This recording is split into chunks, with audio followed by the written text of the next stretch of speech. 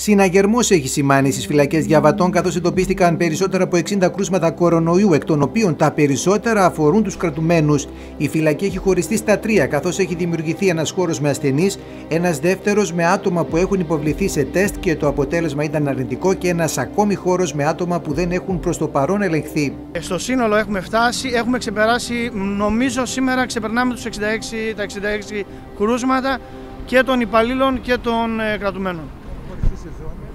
Έχουν χωριστεί σε ζώνες οι κρατούμενοι. Προσπαθούμε να μπούμε σε αυτό το διαχωρισμό.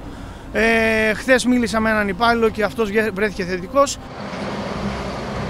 Η Γενική Γραμματέας Αντικλιματικής Πολιτικής Σοφία Νικολάου επισκέφθηκε τις φυλακές και συναντήθηκε με τον Διευθυντή των Φυλακών, τον Αρχιφύλακα, τους εργαζόμενους στέλεχος του ΕΟΔΗ, καθώς και τρεις εκπροσώπους των κρατουμένων και συζήτησε μαζί τους τις περαιτέρω ενέργειες που πρέπει να γίνουν μετά την επιβεβαίωση πολλών κρουσμάτων κορονοϊού στο κατάστημα κράτησης, ώστε να μην υπάρξει περαιτέρω διασπορά του ιού. Ναι, υπάρχει μια ανησυχία από τους κρατουμένους.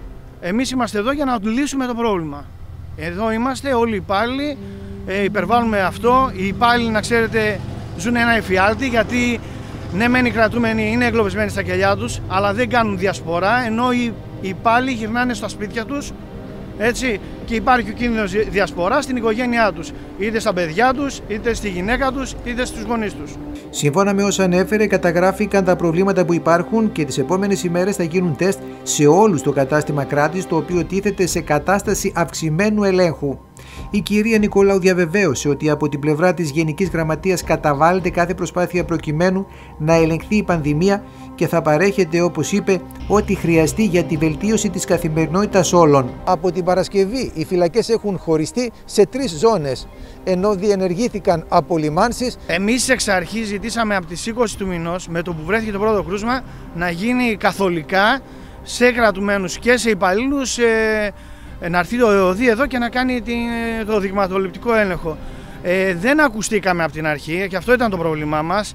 Αφήσαμε λίγο το, όχι εμείς, με δικιά μας ιδιότητα και η Ένωση και η διοίκηση το είπε αυτό το πράγμα. Ε, άργησε όμως. Αργήσαμε και το αποτέλεσμα είναι αυτό.